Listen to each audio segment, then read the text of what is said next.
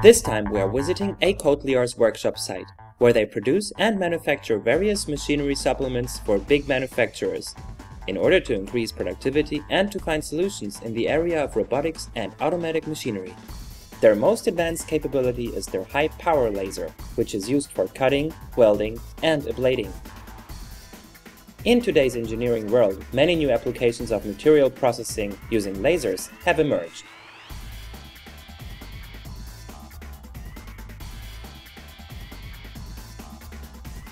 The advantages of fiber lasers are their high power mechanical stability and good beam quality.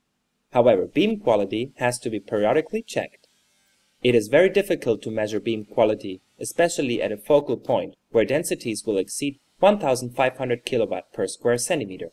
Moreover, it is very important to monitor power variation as well as position accuracy. Those parameters are clearly displayed at the calibration area of DUMA's high power beam analyzer. The measurement is implemented onto the working area and the results could be used for online calibration. The demonstration you are about to see is of a high-power laser welding machine analysis. A laser beam of up to 1.5 kW and a sub-millimeter beam size is used. The laser output beam should be placed above the measuring system. A carefully designed beam sampler samples about 1 out of 100,000 without distortion, while preserving the original beam polarization. The online calibration system will monitor various parameters. These are displayed in a graphical software as follows: power, position repeatability, beam size at the focal plane, horizontal and vertical profiles.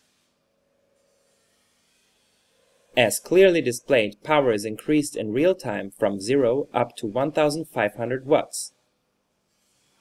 In this specific application, clearly the beam is very small at its center, but in its periphery has a relatively large circle with low power. For display demonstration, the main beam is directed to an aluminum beam damp. Within the process, it gets partially melted.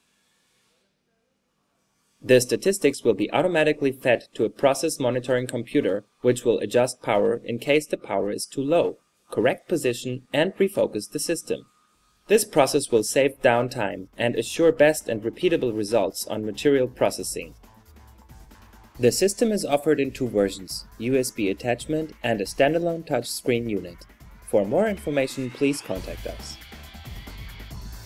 Duma Optronics, inspired by innovation.